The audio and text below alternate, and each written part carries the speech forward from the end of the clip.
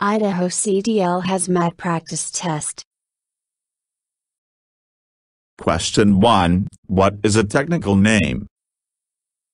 The medical terms for hazardous materials used by medical personnel.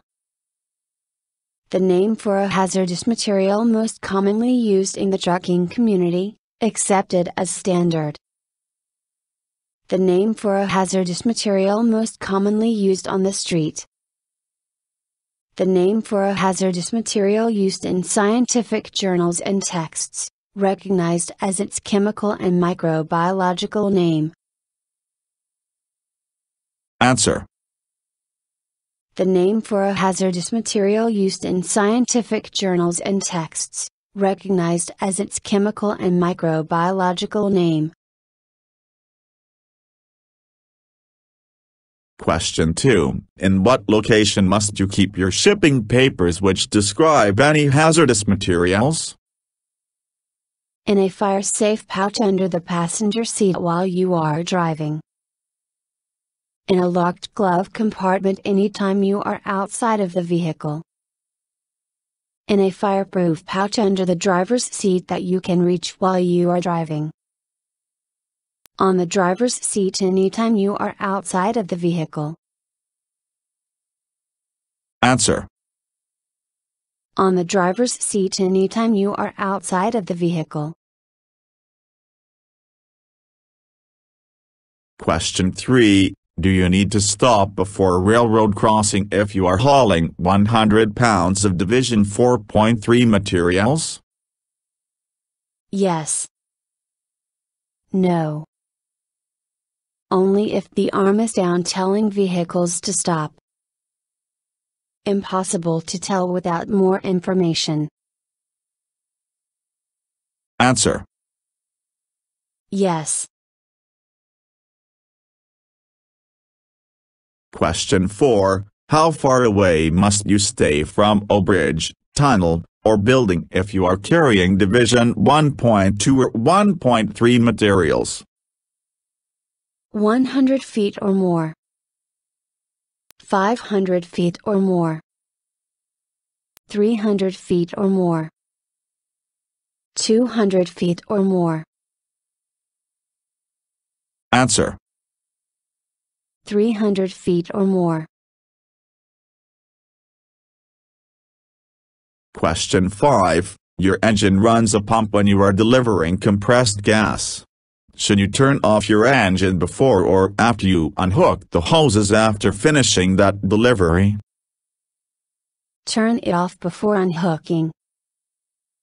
Turn it off after unhooking.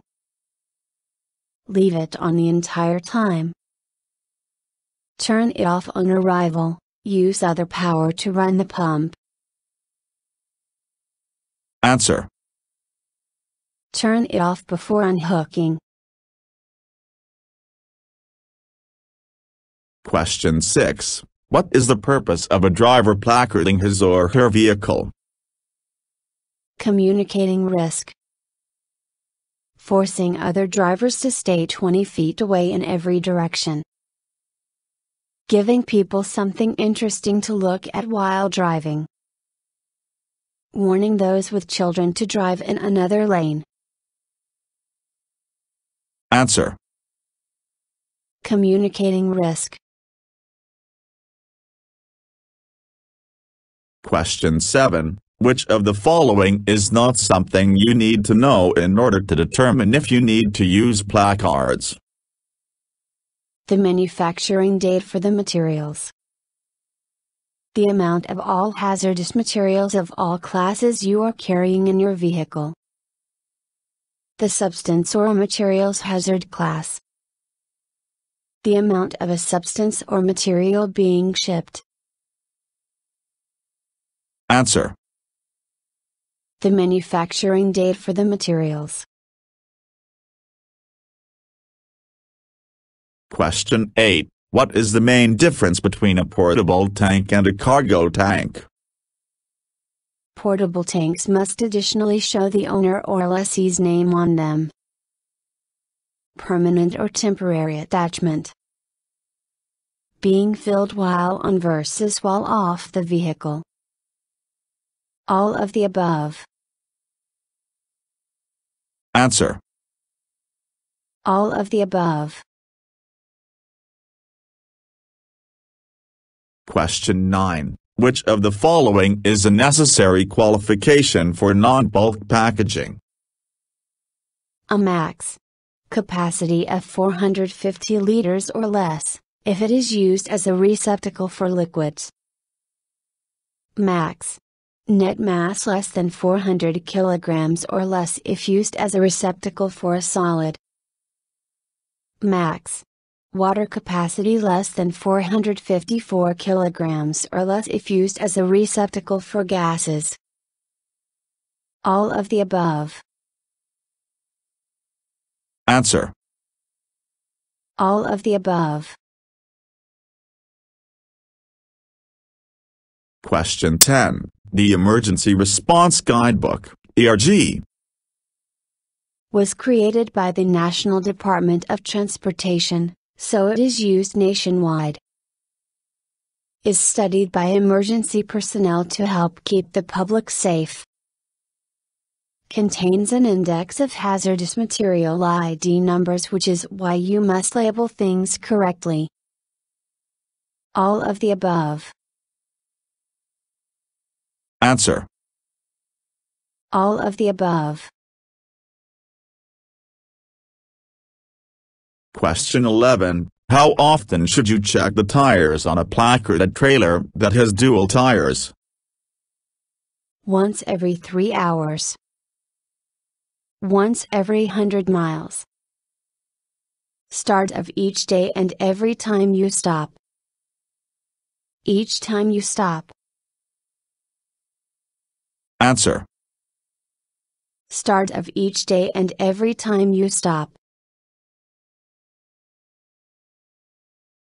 Question 12. Which of the following is not an acceptable type of marking for hazardous materials? Identification number. UN marks. Name in italics. Descriptive name in Roman print. Answer. Name in italics. Question 13. Where are the two main places where the hazardous identification number appear? On the package and on paperwork at the shipping destination. On the shipping papers and on a secret document in the driver's wallet. On the shipping paper and on the package. On the package and on paperwork at the shipping point of origin. Answer. On the shipping paper and on the package. Question 14. Which of the following materials would be acceptable floor liner for moving division 1.1 or 1.2 materials? Carbon steel. Stainless steel. Non-ferrous metal. All of the above. Answer. Non-ferrous metal. Question 15. What action should you take if there is no phone available and you discover your hazardous materials shipment leaking at a rest stop? Send someone for help with all the necessary information. Leave your truck parked with emergency lights and walk for help. Keep driving for help as quickly as possible. Keep driving, slowly and cautiously, until you reach a phone. Answer. Send someone for help with all the necessary information. Question 16. What are shippers trying to accomplish when they package the material? Make it easy to identify. Make it as light as possible. Make it easy to open and close. All of the above. Answer. Make it easy to identify. Question 17 Cargo tanks are Bulk packaging temporarily attached to your vehicle. Filled while they are off your vehicle, then attached for transportation. Bulk packaging permanently attached to your vehicle. Only made in one size. Answer. Bulk packaging permanently attached to your vehicle. Question 18. A placarded vehicle must carry what type of fire extinguisher? One with a rating of 10 BC minimum. One with a rating of. One with a rating of 5 BC minimum. One with a rating of 10 AB minimum. Answer. One with a rating of 10 BC minimum. Question 19. If you are already carrying 100 pounds of silver cyanide, what precautions must you take if you are given papers at dock to carry 100 cartons of battery acid? Inform someone and not load the battery acid. Make sure the silver cyanide is loaded on top of the battery acid. Make sure there is plenty of space between the two.